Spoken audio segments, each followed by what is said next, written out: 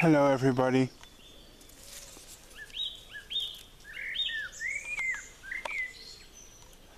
Today I'm showing you my rearing of the Japanese moon moth Actias gnoma.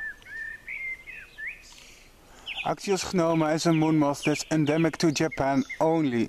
So it's it's actually a quite special species in that regard because it's an endemic moon moth uh, that as I said can only be found in Japan so they are not offered for sale that often it's not a rare species but you just have to be lucky to know somebody in the area who can get them and they have lovely caterpillars that are doing well on uh, uh, Betula. What's the English name for Betula? Let me think for a second. Oh yeah, it's birch. That's right. And I'm gonna take one big larva out here from a branch just to make nice pictures of them. Come here. Come here. I want to give you a close-up. These moon moths from the Far East can be difficult to identify in my opinion. Of course Actias gnoma is a quite recognizable species, but there's a few species in the area that are difficult to tell apart, such as for example Actias aliena, Actias sjoeqvisti, Actias artemis, Actias dulcinea, and I think since recently there are a few more described species. Either way, this is truly Actias gnoma, so we need not worry about this identification, luckily for us. Um, yeah, so it's just one of the far eastern species. If you look on my YouTube channel, you'll see that I'm also breeding the Actias, what I thought was Actias artemis, but it turns out those are actually Actias dulcinea.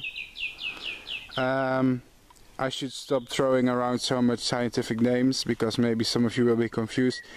Uh, either way, these caterpillars are really easy to raise. Uh, they prefer to be raised here outdoors in the wild if you have the climate for them. Here's an interesting cat of larva of uh, what seems like a ladybug beetle unrelated to my video, but it's also here in the tree. Either way, um, yeah, they're doing very well on birch and they will feed on a re reasonably broad number of deciduous trees, uh, including oak, including willow, well, including, I'm pretty sure they will accept things like cherry and rose. So if you got those perfect, use them. I'm kind of happy with the results. I've been looking to breed this species for quite some time actually. Uh, it's an easy to breed and common species but it's just rarely offered this uh, Japanese type of moon moth. So I guess I'm kind of lucky.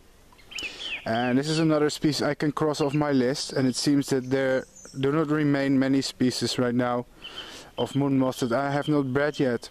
I have already bred Actias dubernardi, uh, Selene, Ningpoana, uh, well, this year Gnoma, Dulcinea. Um, what else is there? Yeah, Maenas, Isis, and I think I've covered most of the common species. Thanks for watching. Just a quick demonstration of what's in this sleeve here.